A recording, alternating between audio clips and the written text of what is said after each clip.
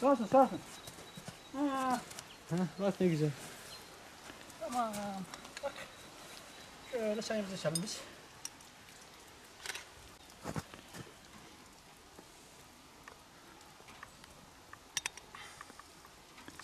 Kek de yiyebilirsin.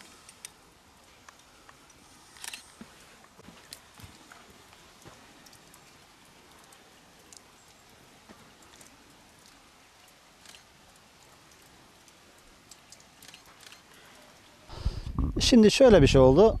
Ee, zaten peri bacalarını görmek hayalim. Ee, biz e, fındıkçılıkla uğraşıyoruz, çiftçilikle uğraşıyoruz. Hayvancı, hayvanlarımız var. E, bunlardan zaman bulup da tabii ki gidemiyoruz. Onun için e, peri bacalarını şöyle bir görselini yapalım dedik. Hayalimiz en azından gerçekleşmiş olsun. E, bu eve gelince, bu eve e, de mesela e, geceleri ben buna oturuyorum, kahvemi içiyorum. E, gaz lambası yakıyorum bunun içinde. E, bir de bunun e, bir özelliği, e, bunu aslında herkesin bilmesi lazım. Niye bilmesi lazım?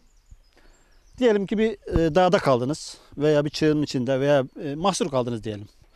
Tipiden ve rüzgardan kurtulmak için, korunmak için bu bir numara bir evdir aslında. Bunu herkesin bilmesi lazım, yapabilmesi lazım. Ha bir de nedir? Hayal işte bu. Gece bunda oturmak, gaz lambasının içinde, kahve içmek, çay içmek. Böyle bir hayalimiz vardı. E, pandemiden dolayı e, zaten bir yere gidemiyoruz. Daha önceleri e, boş kalan vakitlerimizde merkeze iniyorduk. Vakit geçiriyorduk. işte geziyorduk, tozuyorduk. Pandemiden dolayı bunu yapamadığımız için böyle bir uğraş seçtik kendimize. Sıcak.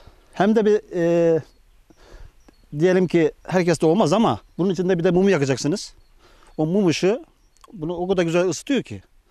Yani bir herkesin bir denemesini tavsiye ederim.